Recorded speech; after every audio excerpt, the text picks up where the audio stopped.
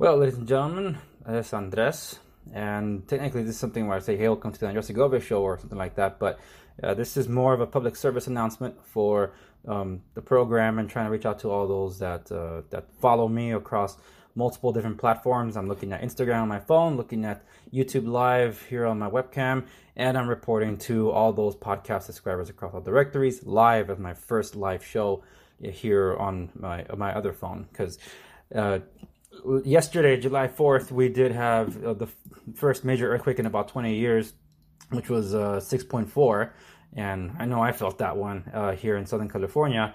But uh, a few, about an hour and a half ago, I'd say, we had um, about a 5.0. It's they're still adjusting that number in what is called the high desert. So for any of you that are, are familiar with the high desert you know, here in Southern California, it's when you literally go up the mountain to Hesperia. That's kind of the direction you're going to Las Vegas, and that 5.0 is the one that we really felt down here. But uh, that was upstaged also because, well, just to give you context, since the 6.4 earthquake yesterday we had 1,700 aftershocks. Even the geyser at Yellowstone has been a lot more active than recent. It's been crazy.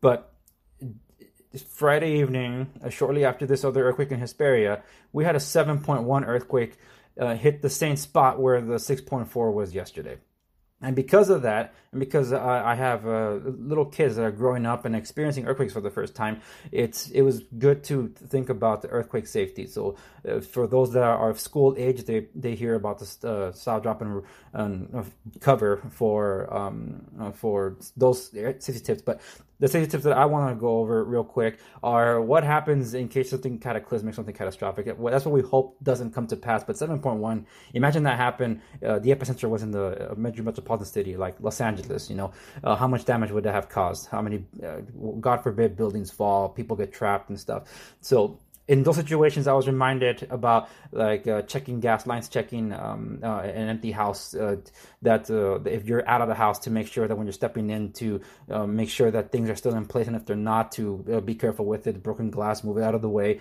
and thinking about my little kids. Like, what if this happened at night? What then? So uh, it's prudent to remember, especially in a digital age, how we all rely on our smartphones, but then we panic when our smartphones are not charged. That these things didn't exist the whole time. It's great for communication, but not so much for um, like like uh, uh, what is it? Uh, as being your survival tool because it's not. It's just it's a digital Swiss Army knife, but it's not going to get you far in a place where cell towers are not working. There's no running water, no electricity, no way to charge your phone. So if your battery's dead, what then do you do? Okay, so uh, some of the small things that uh, that I recommend are well, uh, there's meal re- meal replacement bars like um, some granola bars that you're probably familiar with that have a more balanced intake of the the macros, the main macros, which are um, healthy fats, uh, healthy um, carbs, and uh, healthy protein. So whether it's vegetarian or whether it's um, um, whey based on milk it's the those are the kind of mixtures you're going to want and believe me for those of us that eat clean it's not going to matter in a in a, a, situation of serious catastrophe because there's just no time for that. So you gotta look after yourself and the the, the ones you love, and um, and you have to be um, sure that you have enough water to make sure that all of you have something. Because there's no running water, how are you gonna get water? Um, in my case, I gone camping a lot, so I have a lot of camping equipment. I just actually got back from Target, a very busy Target, but not many people were there for the reasons I was. I picked up the last small propane tanks because I have a, a gas, a propane powered grill, a small one. Because for camping, um, I have inflatable mattresses uh, in, just in case, you know, because uh, we took them for camping sometimes as well.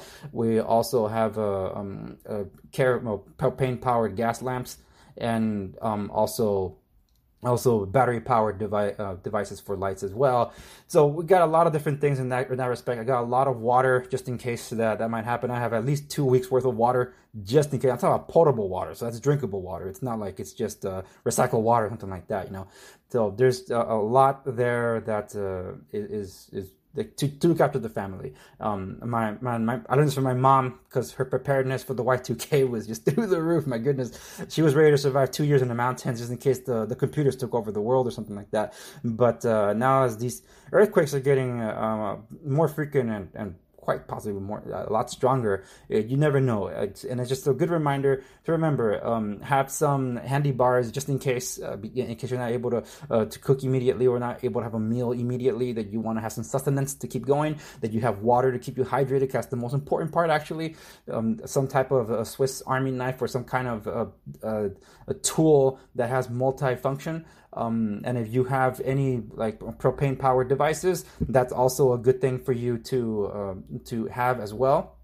So, uh, like in my case, um, because we were blowing up a lot of fireworks, uh, just in case, I ended up getting more of these lighters because you never know. Yeah, we have matches and uh, strike two rocks if you can, but you need a lot of patience for it. And another thing, yeah, Facebook, uh, of course, the propane uh, tanks that I have. I have big ones, but believe me, carting those things around is going to be a lot more inconvenient if you have to move around a lot. So here's to hoping that we don't have to worry about a like a, the cataclysmic earthquake in the middle of the city. But again, 6.4 yesterday morning, uh, 7.1 same spot today, and that's after a 5.0 in the high desert, which is a lot closer to me, and I felt that one a lot stronger than yesterday. And in between those two earthquakes, at least 1,700 aftershocks and a lot more seismic activity happening on the San Andreas Fault. Uh, look, yesterday's earthquake was also picked up by a Richter scale in Pennsylvania. Like that's crazy, you know. So they may not be um like Northridge scary right now, but that's because the epicenter is not in the major metropolitan area. But God forbid that it is. So remember, look after yourself, and look after your family, um, be prepared because you never know, and you rather be in the know instead of not, and and just have some kind of preparedness and that's why I felt like firing this up because I just finished walking this through my kids, who I was trying to put this uh, with my wife to also um, help put to sleep and making sure that they're looked after so they can go to sleep peacefully. Because apparently their cousin, uh, at least one of them, um, was wasn't taking it too well as he was really freaking out. So uh, yeah, kids can be really scared here, and it's uh, up to us adults to make sure to tell them, hey, it's gonna be okay even when we're scared like crazy too. So yeah, just remember, uh, just to look after yourselves and look after your loved ones. Be ready and know where people are. Uh, if there's a major earthquake that strikes in your area, remember if you, ha- you, you have a gas shutoff valve, do not turn on any gas powered items inside the house until you check that there are no gas leaks. Um, if the valve is off, uh, then you can reset it after you make sure there are no more gas leaks. And if you're not certain, then you definitely want to call the gas company when they're able to get out there. If there's no power, make sure you have your flashlights, of course, your smartphones. But if your smartphone's dead, what then? You want to have a battery powered um, flashlight for that, and recommendation of battery powered radio because uh, emergency broadcast systems are meant to go up when um, there's there's no um, power also. Uh, and potable water. You want to have water to be able to drink and use whenever you need to. Okay, so uh, that's all I wanted to share with you know with all of you. My first live um, live stream across multiple devices, and I didn't think I was going to be doing it about this. But uh, for those of us in Southern California, and remember all the earthquakes, well, this is another wake up call in case you get uh, you rest on your laurels. But uh, big one's coming. Whenever it comes, just be ready. Okay, that does it for this one. I'm gonna start shutting off across all of them, and I hope those of us in Southern California can have a good night because I know I'm gonna go to sleep. So, all right, that's it. This is Andres from Everything Across Everything signing off.